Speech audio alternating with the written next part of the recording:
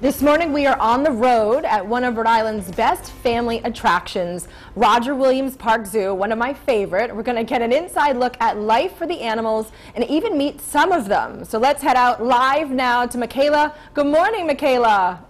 Good morning, Audrey. Well, we're here live at Roger Williams Park Zoo where they are home to so many different animals, and boy, do they have quite the appetite. So we're getting you up close and personal with a few of the zoo's most popular residents. Just like humans, animals need proper nutrition.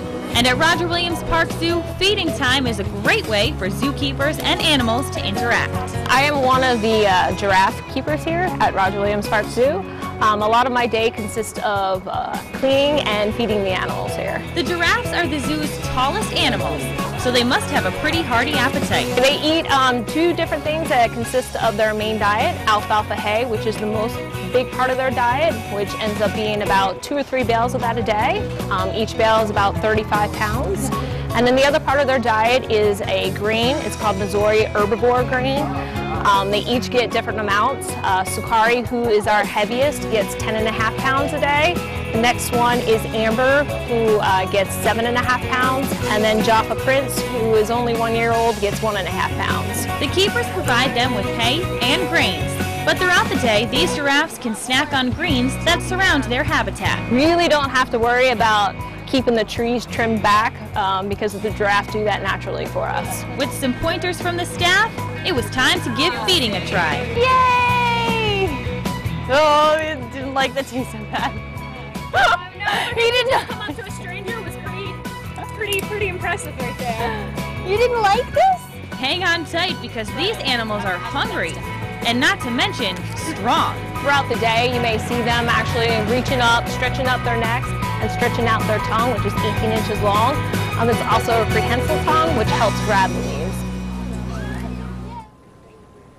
And not only can you see these giraffes this weekend, we can also take part in a great event that's happening. So Andrea Rowland is here to explain all about Zoo Artisy. What is it? Zoo Artisy is a fantastic event happening here tonight at the zoo. The first one in the first of three nights is this evening. It's an odyssey through the zoo, you get to go on a magical journey encountering 20 living art statues by 1031 Productions. All of the zoo animals will be out at the sunset hours, and you'll also have some really cool refreshments, champagne and chocolate covered strawberries, as well as having live music will end the evening. So it's a great event for kids, families, and also a great date night. Also, if you're looking for something to do on a Friday night, it starts this evening. Tickets are only $15 and $10 for children, and there's also great member prices. And all of that information can be at rwpzoo.org. All right, excellent. And you said tickets can be purchased at, At the, the door. door. They're still available? Absolutely. All, all ticket sales are at the door. Okay, excellent. And now, if you want to check out some other cool animals, Laura Personius is here with us,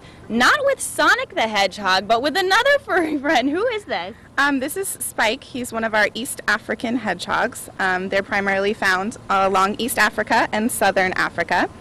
Um, he's kind of waking up. These guys are primarily nocturnal, so he's uh, moving around quite a bit right now. Yeah, he seems a little bit antsy. It's probably the heat and everything, too. It's getting to us all, don't worry. Yes, yes. Um, but he's doing pretty good. You can see his face. His um, best um, kind of things for him to do when he's searching around is his sense of smell. You can see his cute little nose. His eyesight's pretty good, but they usually use their hearing and their sense of smell to kind of get around. Um, he might also be trying to burrow, which is another thing that they do. Um, in their habitat, they try and uh, try to find a little area and kind of just hang out there most of their lives. They're primarily solitary too. He seems to be kind of burrowing around there. So, what are some of the things that hedgehogs eat?